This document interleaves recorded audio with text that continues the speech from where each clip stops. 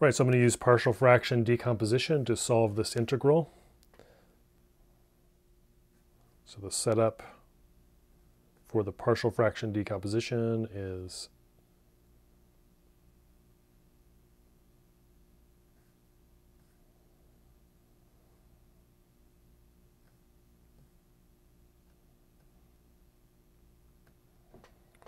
Okay, so there's our setup. We're going to solve for a and b. Now we're going to multiply both sides by this, uh, this expression x minus 1 times x minus 2. So if I was to multiply this side by x minus 1, x minus 2, um, I'm going to have to multiply this side by that as well, right? So you have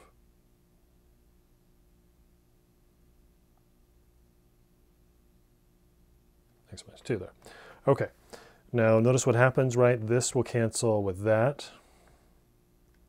And we're left with 1 is equal to a over x minus 1 times x minus 1, x minus 2 plus b over x minus 2 times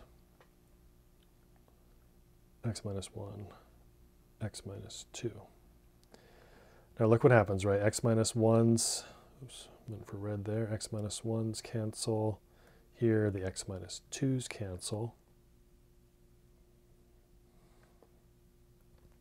And what we find is that 1 is equal to a times x minus 2 plus b times x minus 1.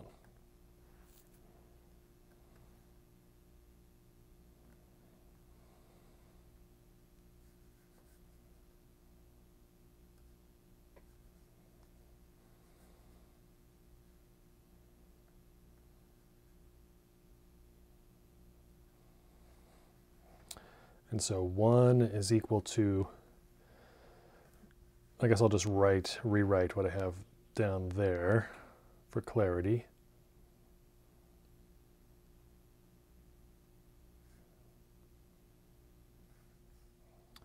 So now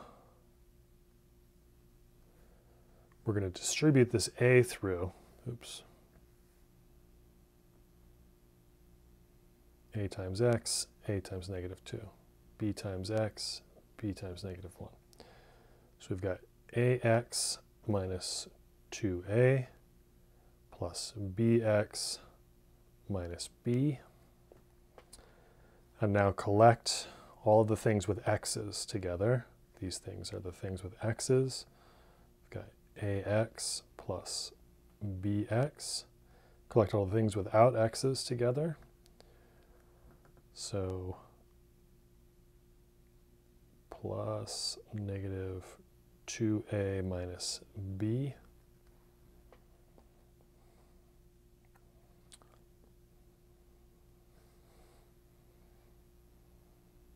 And now use the distributive property in reverse. We have a plus b x plus negative 2a minus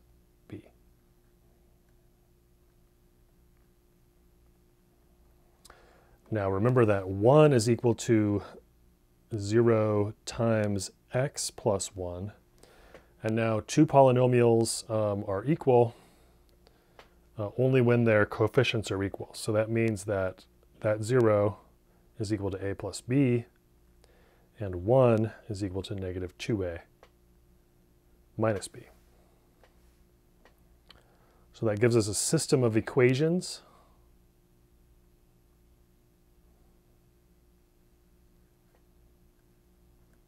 where we know that a plus b is equal to 0 and 1 is equal to negative 2a minus b.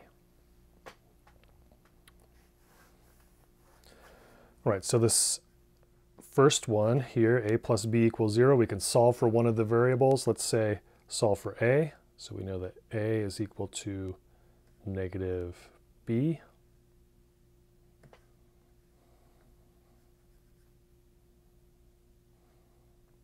And then we can plug that in over here. So 1 is equal to negative 2 times a minus b. Well, a is equal to negative b, so we can put a negative b in there. So 1 is equal to, let's see, negative 2 times negative b, that's a 2b minus b. So 1 is equal to 2b minus b is equal to b. So b is equal to 1. If b is equal to 1 and we know a equals negative b, from this one we know that a is equal to negative 1. So here we found that a equals negative 1 and b equals 1. Now let's remember, remember what we were doing before. It's easy to get to forget where we're at. Okay, remember that what we did in the initial setup was we found that 1 over x minus 1, x minus 2 was equal to, uh, or the initial setup was a here over x minus 1 plus b over x minus 2. We just found that a was negative 1, so we'll put that in there. And we just found that b was 1, so we'll put that in there. Now we can check our work. Uh, we can check that this decomposition is correct by um, doing the math here, doing the doing the addition. So let's do that. Negative 1 over x minus 1 plus 1 over x minus 2 the common, den common denominator would be x minus 1 times x minus 2. So you have x minus 1, x minus 2, and so we have negative, so negative 1 times x minus 2 plus 1 times x minus 1 all right, so distributing this negative through, that would give us a 2 minus x. So I'll replace that there. 2 minus x, and look what happens, right? The x's cancel, and 2 minus 1 is 1. So in fact, we were able to go, this checks out.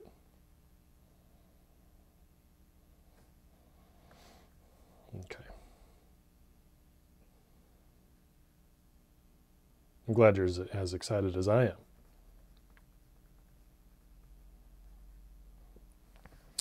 All right, so now that we know um, the decomposition of 1 over x minus 1 times x minus 2, we can use that.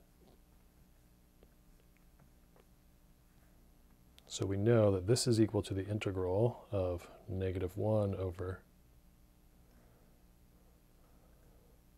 oops, I'll put uh, plus 1 over x minus 2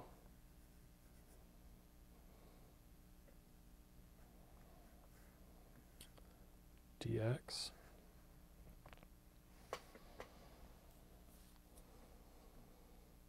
Now remember we can split integrals over sums, so we can write this as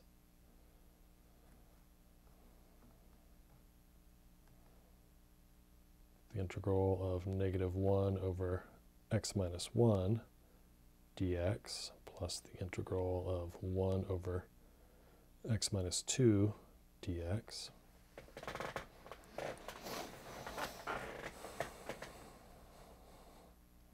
Now we might as well pop this negative 1 out to the front. Let's put a negative out there.